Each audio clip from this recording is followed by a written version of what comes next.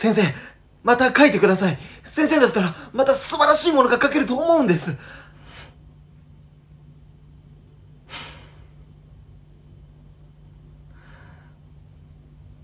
君は今青春真っ只中という顔しているな。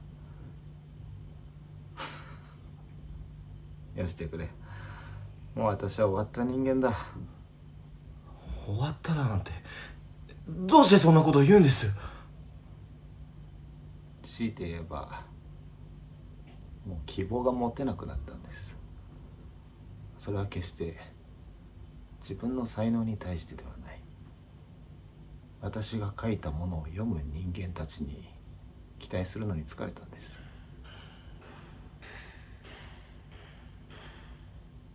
巷ではあの神木の小説が随分と評価されてるというじゃないですか。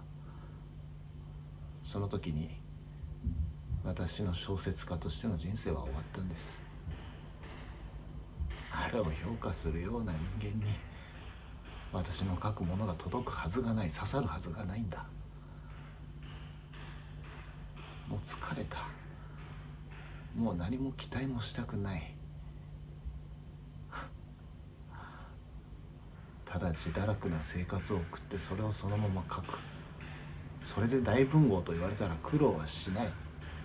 ただ神木はそれをやってのけた。